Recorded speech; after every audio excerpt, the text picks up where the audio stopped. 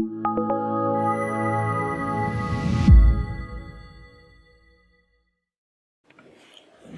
morning. Uh, today we're going to talk to Mme Ntebohiseng Sekhele.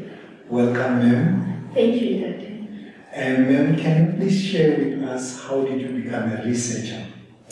So, I was first introduced to research when I joined the university in 2014. I accompanied my then head to the field to collect data. And he was doing research on communities and heritage sites. So I, through, I saw through his research the impact it had on rural communities, the interaction of the university with um, rural communities, how much they appreciated that relationship. So I think that is where I realized the importance and impact of research on um, the local people, the normal people who don't have access to facilities and resources that we have at, at university. So from then on, I was inspired to start my master's journey um, up to where I am now. So I would say that was my inspiration, which sparked my interest in research. In research. Thanks a lot, ma'am. And then, what are you currently working on? so currently I'm working on my PhD studies, looking at um, conservation conflicts of rural communities and their surrounding protected areas. So my particular or specific study area is the Golden Gate Highlands National Park with adjacent rural communities that are found here in QwaQwa. So namely villages such as Mununza, Hlateng, Sihlajane, Udumane, Mabulela, and the likes. Yes. So, ma'am, what uh, climate strategic uh, adaptation that you are using to mitigate any effects on those uh, societies and the livelihoods of the communities? so I think I forgot to mention in my previous response that looking at conservation conflicts of these communities and protected areas, I'm also looking at how climate change is changing the environment because climate change is something that we cannot control, but at the same time it changes the environment in which we live in. So I am particularly looking at how communities are adapting to climate change through their day-to-day activities because these are farming communities. They also keep livestock, so obviously they feel the impacts, negative impacts of changes in temperature and precipitation in particular. So I adopt their indigenous knowledge um, practices to see how they are adapting to the inevitable changes that are happening, but also trying to maintain their livelihoods. So I'm looking at what it is that the local people are doing from their indigenous knowledges to try and survive the harsh um, environmental conditions that we are currently witnessing. Thanks a lot. And then looking at Vision 130, one of the tenets is about uh, the maximum sustainable societal impact and sustainable relationship.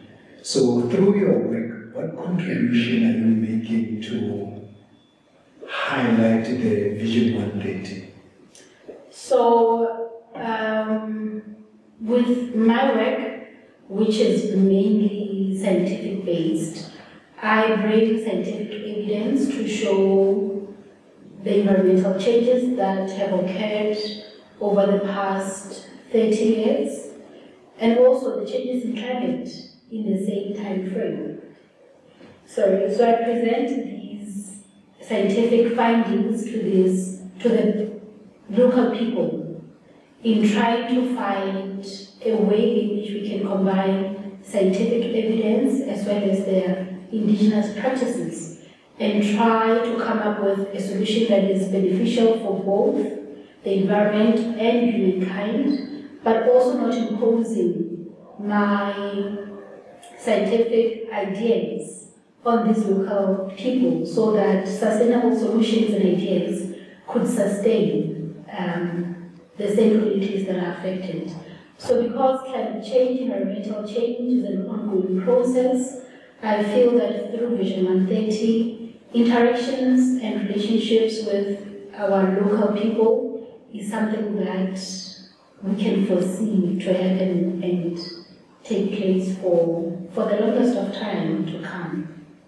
So, in essence, I feel my research would, in the long term basis, equip our societies to better prepare themselves for the future that is unknown, but which is predicted to be worse than what it is today.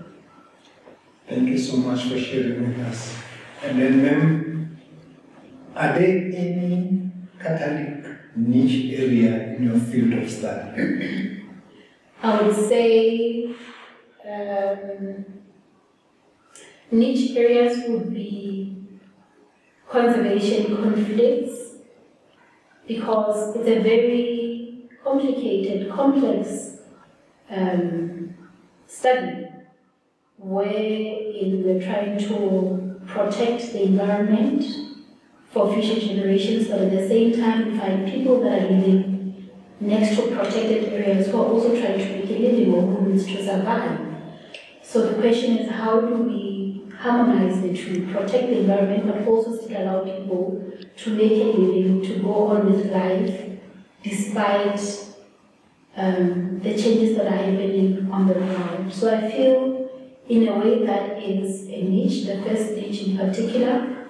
The second one would be monitoring these changes in real time. We cannot be using data from 10, 15 years back in order to explain or try to provide solutions for a situation that is happening currently. So ideally, we want to have systems or technology that would monitor real-time changes so that we offer real-time solutions. So according to me, I feel those are the two most important niche areas in this study. Thank you so much, ma'am. And then when we look at the Sustainable Development Goals, you are talking about uh, climate action. And then you'll find there's a synergy with other goals. For instance, we talk about uh, the clean energy, we look at uh, sustainable communities and cities, and then we look at responsible consumption and production. So, what contribution can you make to that synergy? Wow. It is a challenging one, particularly for rural people whose main um, source of living is primary activities.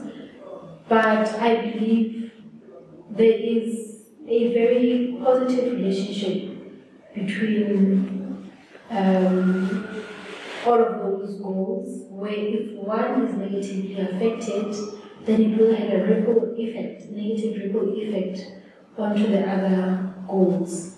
So with my um, contribution, with my research, the contribution would be to target one, which is sustainable production and consumption, hoping that in turn it will inform our fight against managing our carbon foot emission or carbon, carbon footprint emissions and also adapting to the dire impacts of climate change.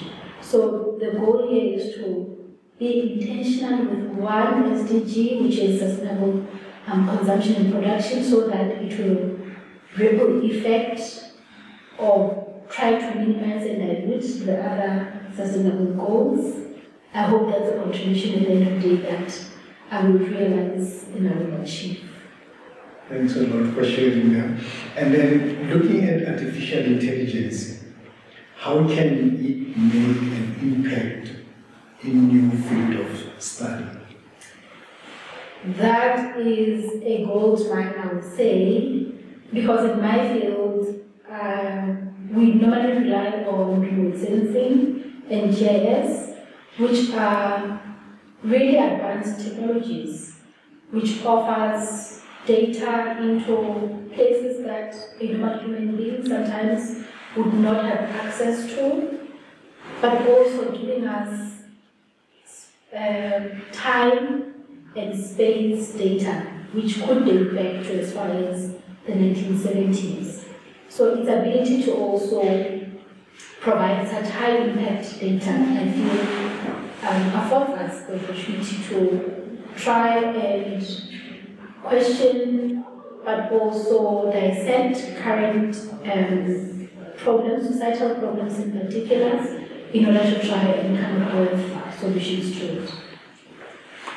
Thanks a lot for sharing with us that uh, AI will play a major role in terms of monitoring, uh, planning, and decision making.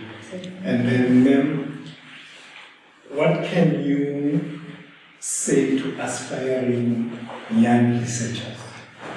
Hmm. What message can you give? As an aspiring researcher myself, I would say um, the first step is to start. It's important. I think when we are in the lab and in our workstations, we tend to take for granted what we're doing until we get to interact with the communities who benefit from our research. So to aspiring um, young researchers, I would say um, we take the baton from those who have walked the journey before us, and we should feel proud of standing on the shoulders of giants who have embarked on this journey before. Because really, the developments in research now, the technology that is out there, has sort of made things a bit easier and more um, accessible. So I feel the starting point would be to just get on with it. We are doing real work that has been appreciated and makes a difference to so many communities. Thank you for those inspiring words. And then, ma'am, apart from research, what are your other interests?